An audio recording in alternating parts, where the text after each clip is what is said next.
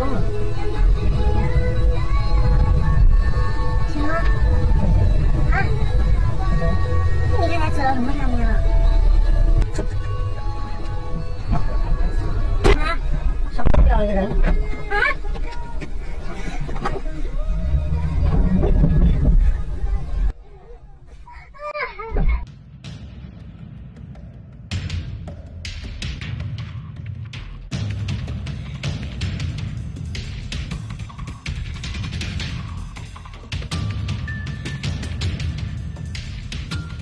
资料反映是他们在吸冰毒，在听到有人敲门声之后，呃，心中呢有所呃担心或者害怕，然后就翻窗走，在这个翻窗离开过程中坠落地面。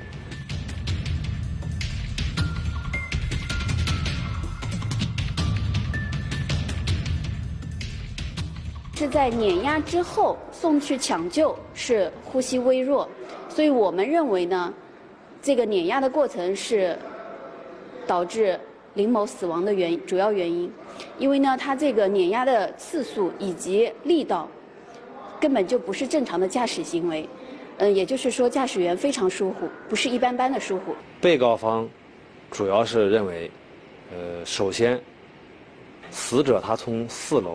坠落到地下，本身已经造成严重的颅脑损伤，他对于呃本起死亡事件以及交通事故都有全部责任。